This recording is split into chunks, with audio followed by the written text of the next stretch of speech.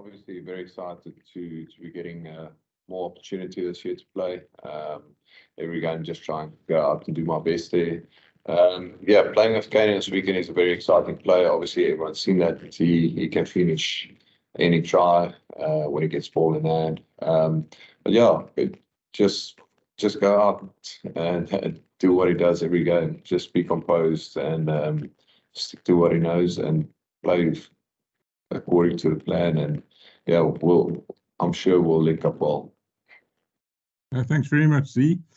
Uh, André, just um, obviously, you guys are all in a in a positive way competing for your uh, place in the starting lineup also for the World Cup. Um, how big a game could this be for you, You know, especially against the All Blacks in terms of making your mark?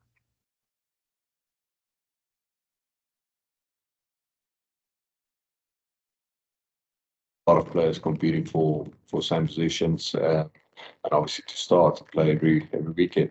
Uh, I think it makes us all better play, players. No one's complacent, um, and everyone obviously um, likes to challenge. Uh, so every every game is important for for any player. I mean, whenever you play, you put on the Springbok jersey, it's not just about you. So you play for the team, and you just do your best for the for the team. Questions? Okay, that. Yeah. I spoke to Rio yesterday. Um, his eyes looking a lot worse than yours, by the way. Uh, maybe once both of you. Out of all the top teams, the Boks are most diverse in terms of where the players are are based and the country that they play for in the clubs, if you know what I mean. Do you think that's a strength? Does it kind of give you guys a competitive advantage that no matter what you're presented with, there's someone who's probably seen something similar? Does that make sense? Do you know what I mean? Yeah, yeah, I know I know what you mean. Yeah, I think I mean, I think we spoke about it over 20, 25 different clubs. So everyone played everywhere. Um, everyone has conditions everywhere. So I think it helps a bit. Uh, you get insight from different players and different players' perspectives. Um, obviously, going into this game, I know Twickenham well, um, which is nice for me. I've been here for three years now. And a lot of players have played here before. So yeah, I think I think it is a bit of an advantage. And you know, you know, a few few pointers, yeah.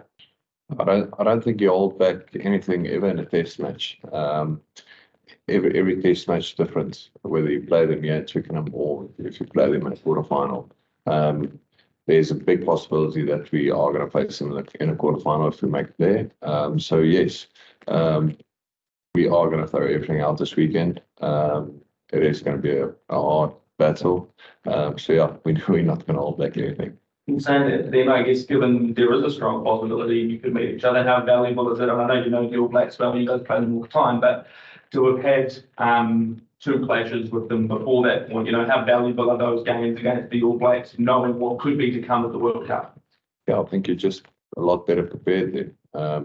Obviously, you prepare well for teams who are watching video and stuff, but to experience them twice um, before before you play them again um, is obviously a big advantage. Um, obviously, it's an advantage for them as well because they've played us uh, too. So yeah, I think it's the build-up to it will be great. So yeah, we'll see what happens.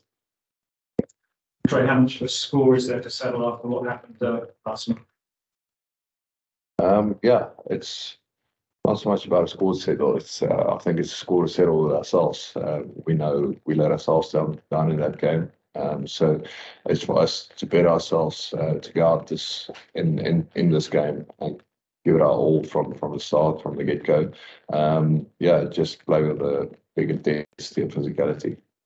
David, just on Cardiff, what was your views on on the yellow card and how relieved were you that it wasn't a red?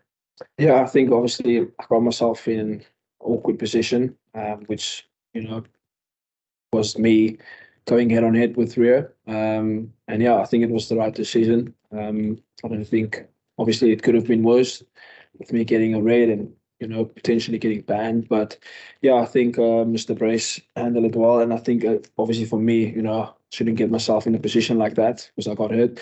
Um, and then yeah, I think it's also just a rugby collision. Um, I don't think there's anything um, I could have done otherwise than that, just try not try and get myself in that position. But yeah, it happened, and you know, hopefully nothing bad has come of it. So yeah, I'm just all focused on this week and making sure I can prep well with the team. And Andre said, you know, go on Friday night and just play good rugby and play with the intensity that we want to. But Um, yeah, just lastly to um, Andre. Um, Andre, in terms of the obviously the big talk was from the last game was the start that New Zealand had. Um, what can you guys do? Um, is is it a mental thing in terms of getting into that pace um, of of the way New Zealand starts and being able to to handle that, uh, or or how how would you guys kind of get to grips with that? The, only thing we can do, it, it, it is a mental thing. Um, the only thing we can do is start with big intensity and physicality. Um, so yeah, I think mentally it's, it's the biggest thing, and then obviously going out there and do it. Um, you can't always ask for a good start because you never know what happens in the game, but you, you can always start with intensity and physicality. So yeah, that's the biggest thing for us.